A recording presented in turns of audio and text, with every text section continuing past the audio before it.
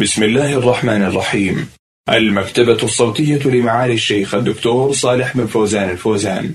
حلقات تبث في إذاعة القرآن الكريم. شرح كتاب زاد المستقنع في اختصار المقنع. لقاء مع فضيلة الشيخ صالح بن فوزان الفوزان. الدرس الواحد والخمسون.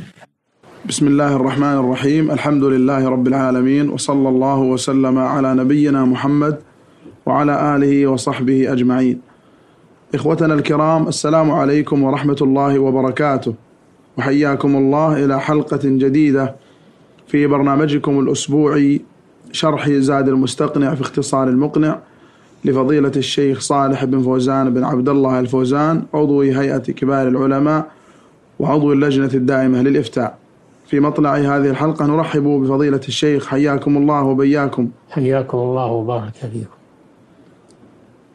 كنا مع المؤلف رحمه الله في حديثه عن كتاب الجنائز عند قوله ويقرأ عنده ياسين ويوجهه إلى القبلة. بسم الله الرحمن الرحيم. الحمد لله والصلاة والسلام على رسول الله وعلى آله وصحبه. وبعد. من الأمور التي قال بعض العلماء إنها تشرع عند المحتضر قراءة سورة ياسين لأنها جاء في قراءتها عند المحتضر حديث. رواه أبو داود وغيره. وتكلم بعض العلماء في سنده. فعلى كل حال إذا قرأ عنده هذه السورة فإنه لا ينكر عليه ذلك لورود الحديث بها وإن كان فيه مقال لأهل العلم لما في هذه السورة من التذكير بالآخرة وذكر الجنة وذكر النار وقد قال بعض العلماء إن قراءتها عنده مما يسهل عليه خروج الروح. الله أعلم. هذه القراءة عند المحتضر الذي لم آه، يمت وإنما هو في سياق الموت. لما في قراءتها عنده على تقدير ثبوت شرعيتها لما في ذلك من منفعته بالتذكر وأيضا مما يسهل عليه الموت بسماع كلام الله سبحانه وتعالى ويعظم رغبته في الله عز وجل بالمغفرة ودخول الجنة. فيموت وهو يحسن الظن بالله عز وجل. أما بعدما تخرج الروح فإن قراءة القرآن عند الجنازة أو عند القبر أو عند القبور أو قراءتها في محافل التأبين بأن يجعل يستأجر المقرئون ثلاثة أيام أو أكثر. بزعم أن ذلك ينفع الميت كل هذه أمور مبتدعة. لا القراءة عند الجنازة ولا القراءة عند القبر ولا القراءة في أيام العزاء أو أيام التأبين. كل هذه بدع ما أنزل الله بها من سلطان. نعم. أحسن الله إليكم. قال رحمه الله ويوجهه إلى القبلة. مما يستحب اتخاذه مع المحتضر أن يوجه إلى القبلة أي إلى الكعبة المشرفة. قوله صلى الله عليه وسلم في الكعبة قبلتكم أحياء. وأمواتا. بأن يجعله على جنبه الأيمن متوجها إلى القبلة. أو على جنبه الأيسر إذا لم يتيسر جنبه الأيمن. المهم أن يكون متوجها إلى القبلة أو يكون مستلقيا ورجلاه إلى القبلة ويرفع رأسه قليلا حتى يكون متجها إلى القبلة. هذا إذا تيسر. أما إذا لم يتيسر توجيهه إلى القبلة فإن هذا ليس بواجب إنما يفعل مع إمكانه. نعم.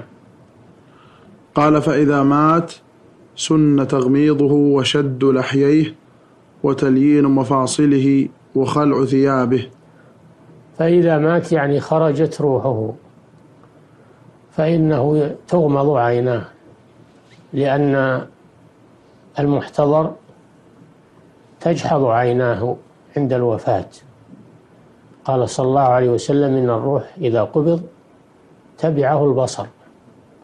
فيتبع البصر الروح عند نزعها ثم لا يرجع. فلذلك يسن تغميض عينيه.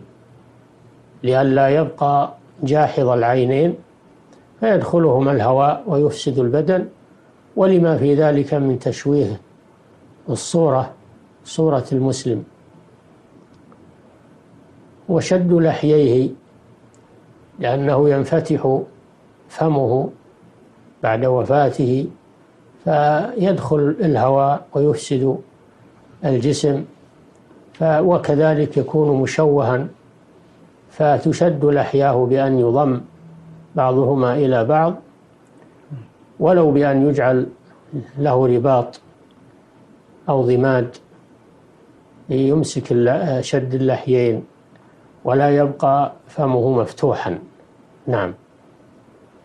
قال وتليين مفاصله وخلع ثيابه. تليين مفاصله بأن ترد آه، بأن ترد يداه إلى صدره عدة مرات حتى يلين مفصل المرفق ومفصل الكفين ويرد ساقاه إلى فخذيه عدة مرات حتى يلين المفصل. لئلا تتصلب المفاصل. إذا تركت فإنها تتصلب. أما إذا لينت المفاصل بردها عدة مرات فإن ذلك يكون أيسر عند تغسيله وتجهيزه. نعم. قال وخلع ثيابه. كذلك مما يشرع لجنازة المسلم بعد وفاته أن لا تبقى عليه ثيابه لأن في بقائها عليه آه، سببا لأن في بقائها عليه سببا لفساد الجسم لأنها تحبس عنه الهواء فقد يتعفن الجسم فتنزع عنه الثياب. وكما جرد رسول الله صلى الله عليه وسلم بعد وفاته.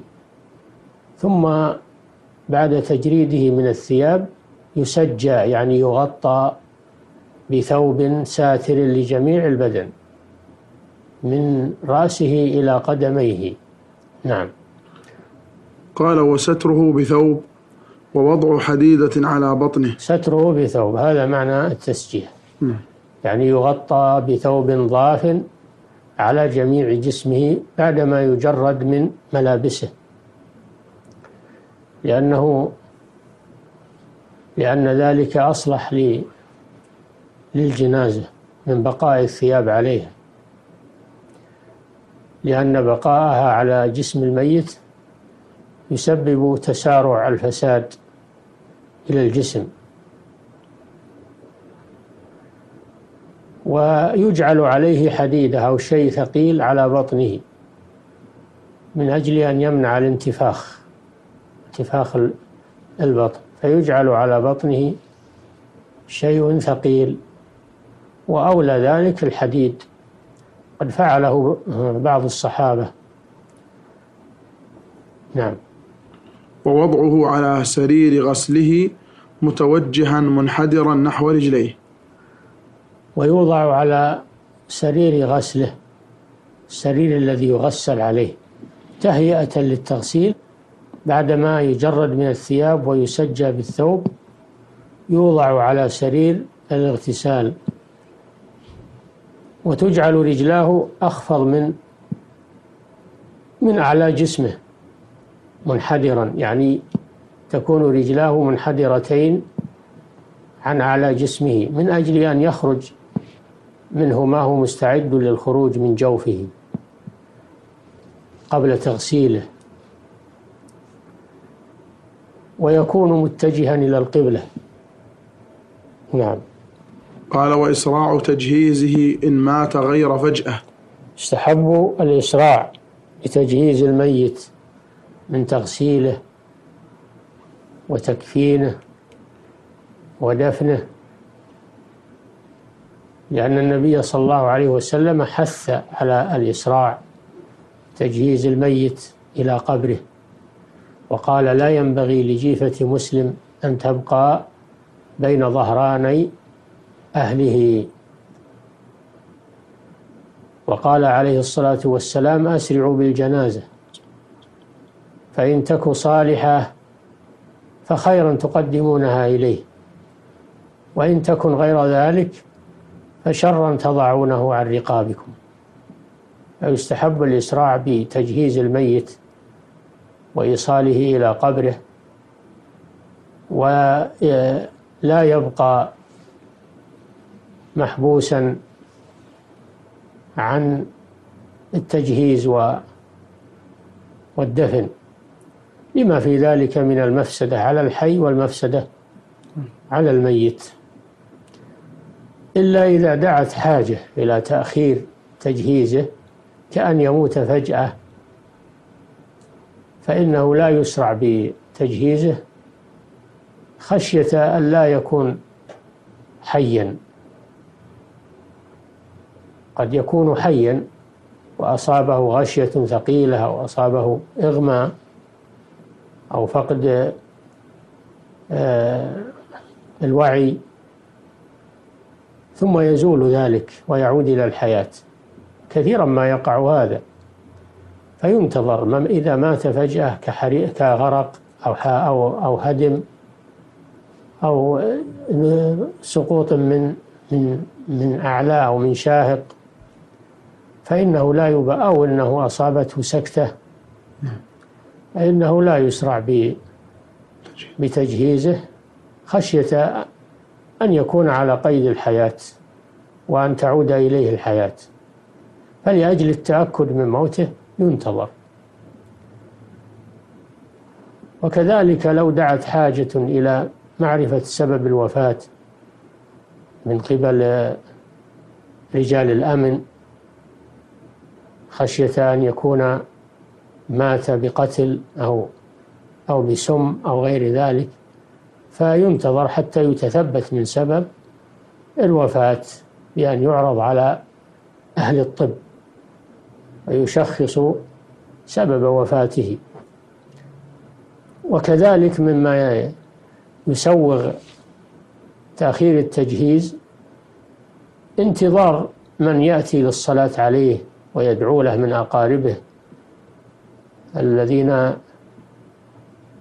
يحتاجون إلى من يبلغهم في كأن يكونوا في آخر البلد أو خارج البلد بمسافة فينتظرون حتى يحضروا للمشاركة في دفنه والصلاة المشاركة في تجهيزه والصلاة عليه ودفنه.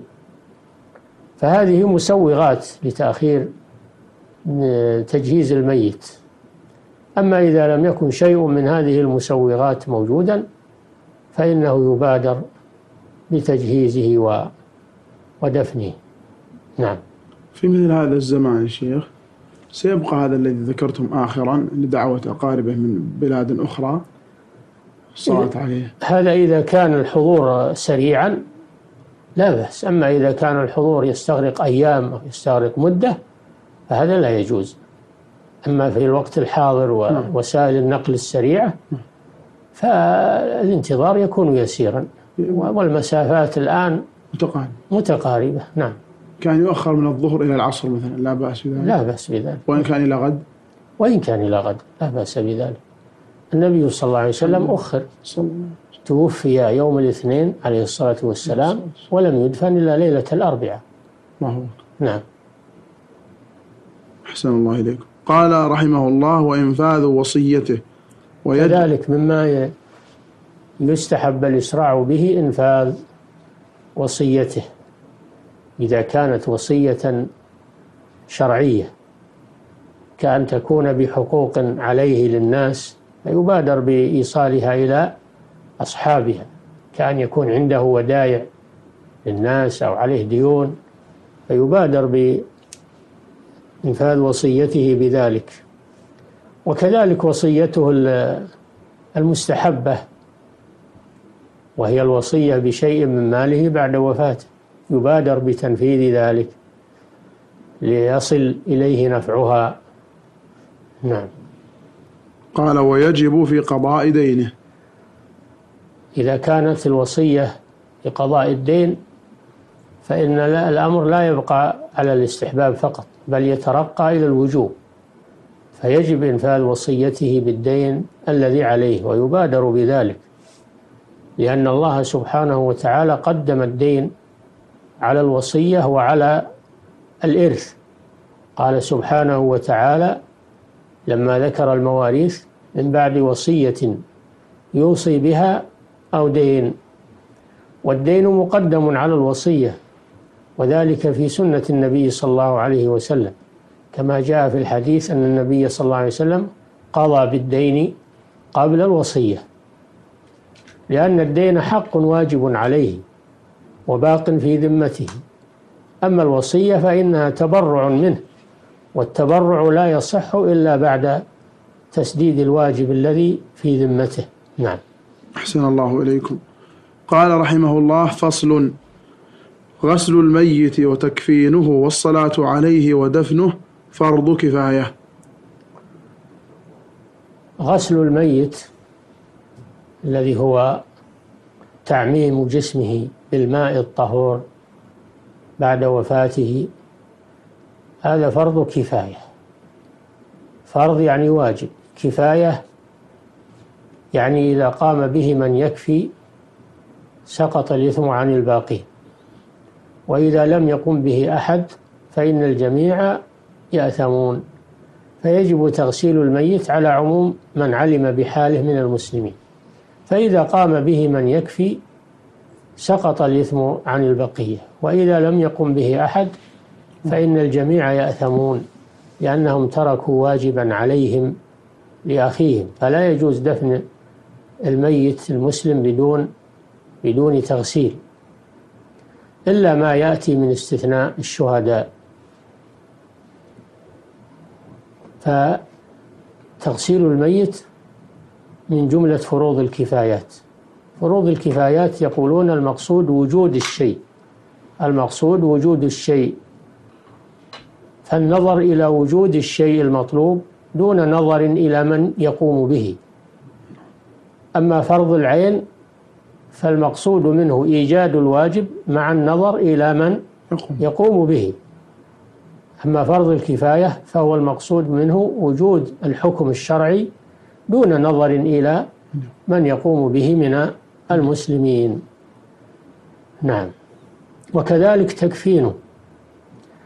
تكفينه واجب على المسلمين بأن يستر بما بما تيسر من الثياب جميع جسمه. مع الإمكان يستر جميع جسمه مع الإمكان ولا يترك عاريا أو يترك شيء من جسمه مكشوفا مع القدرة على ستره. فتكفينه أي ستره واجب كفاية على من علم بحاله من المسلمين. ولو ترك بدون تكفين أثم كل من علم بحاله. ولم يقم بهذا الحكم الشرعي. نعم. قال والصلاة عليه ودفنه. وتكفينه إن كان له تركة إن كان له تركة فإنه يكفن من تركته. وإن لم يكن له تركة فإنه يكون تكفينه في بيت مال المسلمين. فإذا لم يتيسر تكفينه من بيت المال فإنه يجب على من علم به من المسلمين أن يكفنه ولا يترك بدون تكفين. نعم. قال والصلاة عليه ودفنه. كذلك الصلاة على الميت فرض كفاية. يجب أن يصلى عليه. دون نظر إلى نوع من يصلي عليه. بل المقصود وجود الصلاة عليه صلاة صحيحة شرعية. فإذا وجدت من ممن هو أهل للصلاة عليه سقط الفرض وبقي في حق الباقين سنة وفيها أجر عظيم. أما لو ترك المسلمون الصلاة على مسلم فإنهم يأثمون بذلك. نعم. قال ودفنه. كذلك دفنه بما يواري جسمه عن الناس ويمنع خروج الرائحة ويمنع وصول الكلاب إليه والحيوانات حرمة لجثته وصيانة لها دفنه فرض كفاية على المسلمين فلا يترك بدون دفن. فإذا قام به من يكفي ودفنه على على الوجه المشروع حصل المقصود. وإذا لم يقم بذلك أحد فإنه الجميع يأثمون حتى يدفن على الوجه الشرعي. نعم. قال وأولى الناس بغسله وصيه ثم أبوه ثم جده. أولى الناس بأن يتولى تغسيل الميت وصيه فإذا أوصى بأن يغسله فلان فإنه أولى من غيره. وفي هذا تنفيذ لوصية الميت. فإن لم يوصي بمن يغسله فيغسله أبوه أقرب الناس إليه ثم جده لأن الجد أب. ثم الأقرب فالأقرب. وإذا غسله أحد من غير أقاربه من إخوانه المسلمين أجزأ ذلك. لكن الكلام في الأولوية لا في الإجزاء الكلام في الأولوية. نعم. قال ثم الأقرب فالأقرب من عصابته ثم نعم. نعم. ثم ذو أرحامه نعم كل أقاربه سواء قرابة عصبة وهم الأقارب من جهة الأب أو الجد أو جد الجد هؤلاء عصبة نعم. أو الأقارب من جهة الأم كالأخوال والخالات كالأخوال يعني وأبناء نعم. الأخوال وأعمام الأم وأبناء أعمام الأم. هؤلاء يقال لهم ذوي الأرحام. هم أقارب لكنهم من ذوي الأرحام. نعم. قال وأنثى وصيتها ثم القربى فالقربى من نسائها. علمنا الرجل يغسله الرجال. نعم. والمرأة يغسلها النساء. ولا يجوز للنساء أن تغسل الرجال إلا الزوجة كما يأتي فإنها تغسل زوجها. نعم. ولا يجوز للرجل أن يغسل المرأة ولو كان من أقاربها ولو كان ابنها أو أباها أو جدها لا يجوز له أن يغسلها. إلا الزوج فله أن يغسل زوجته كما يأتي. ويقدم كما ذكر المؤلف الوصي بالنسبة للرجل أو للمرأة ثم الأب ثم الجد ثم هذا بالنسبة للذكر. أما بالنسبة للمرأة فيغسلها أقرب النساء إليها على الترتيب. نعم. قال وصيتها ثم القربى فالقربى من نسائها. القربى فالقربى من نسائها من أمهاتها. أو أو أخواتها أو خالاتها أو عماتها. نعم. قال ولكل من الزوجين غسل صاحبه وكذا سيد مع سريته. لكل من الزوجين غسل صاحبه فللزوج أن يغسل زوجته كما غسل علي رضي الله عنه فاطمة بنت الرسول صلى الله عليه وسلم. والمرأة تغسل زوجها كما غسلت أسماء بنت عميس زوجها أبا بكر الصديق رضي الله عنه. فلكل من الزوجين أن يغسل صاحبه.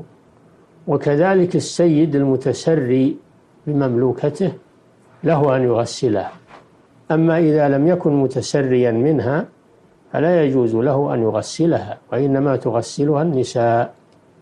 فمجرد الملكية لا يجعل المالك يغسل مملوكته وإنما التسري لأن التسري يشبه الزواج.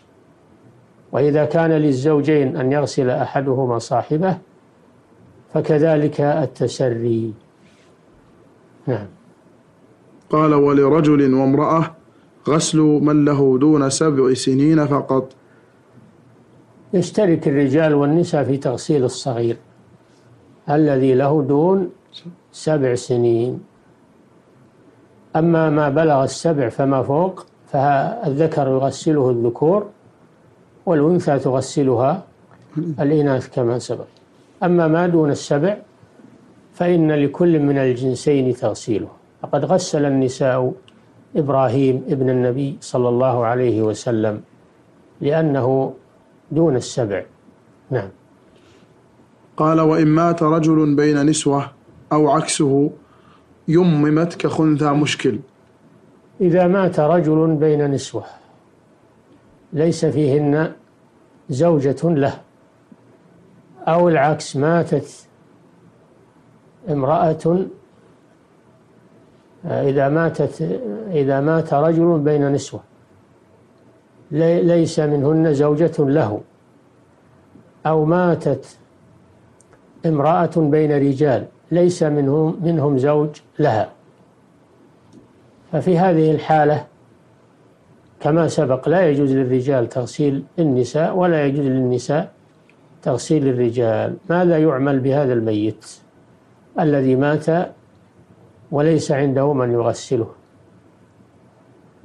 ييمم ييمم بالتراب لأنه إذا تعذرت الطهارة بالماء فإن الله جعل التراب بديلا عنها.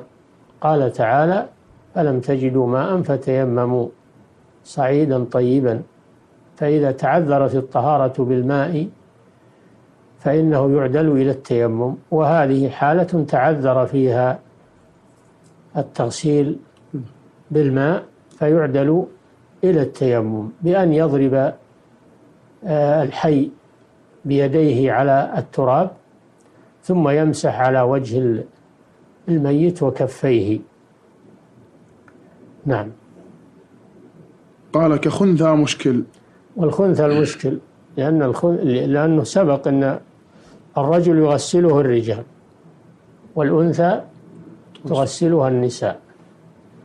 الخنثى المشكل هذا لا يدرى هل هو رجل فيغسله الرجال أو أنثى فيغسلها النساء؟ فأمره متردد. ماذا يعمل به؟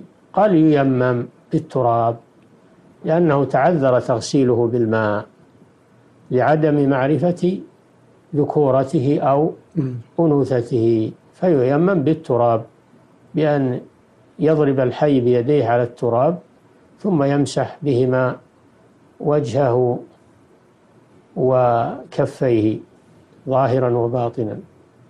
نعم. قال ويحرم أن يغسل مسلم كافرا أو يدفنه بل يوارى لعدم من يواريه. الكافر يتولى جنازته الكفار ولا يجوز للمسلمين أن يتولوه. أن يتولوا جنازته أو يشاركوا في تشييعها أو في دفنها. لا يجوز للمسلمين لأن هذا من الموالاة قد قطع الله الموالاة بين المسلمين والكفار. فإذا مات كافر فإنه يتولى أمره الكفار ولا يدفن في مقابر المسلمين. بل يكون للكفار مقابر خاصة وإذا لم يكن لهم مقابر فإنه يدفن في البر يدفن في برية ولا يدفن في مقابر المسلمين. لكن إذا لم يوجد كفار ومات هذا الكافر بين المسلمين فإنه يحفر له حفرة خارج قبور المسلمين ويدفن فيها. يوارى يهال عليه التراب حتى يتوارى جسمه بالتراب. ولا يترك جثته بارزة على وجه الأرض. نعم. أحسن الله إليكم ونفع بعلمكم. إخوتنا الكرام كان هذا آخر وقت اللقاء من شرح كتاب زاد المستقنع في اختصار المقنع لفضيلة الشيخ صالح بن فوزان الفوزان. شكر الله لشيخنا ما تكرم به من البيان. وشكر لكم حسن استماعكم ونفعنا وإياكم بما نقول ونسمع. هذه تحية من زميلي في هندسة الصوت بخية بن خليفة الدوسري. حتى نلقاكم نأمل أن يتجدد اللقاء وأنتم بخير. والسلام عليكم ورحمة الله وبركاته.